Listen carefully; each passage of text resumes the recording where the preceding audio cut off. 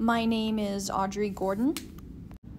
For our typography project, we decided to do a stage play with a drama theme located in Tennessee.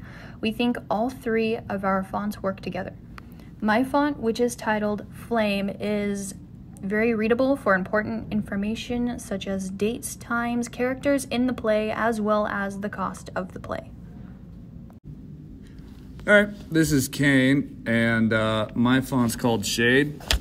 Um, I used it in the main title because it's big, bold, and has good contrast, and uh, it really draws attention to um, the center focus of the poster.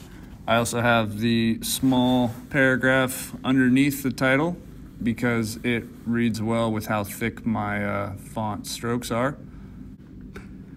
The name of my font was Sketchy, and it was used in the center for a brief summary of the show, as the general consensus was that it was more of a show font rather than reading it, rather than an attention getter.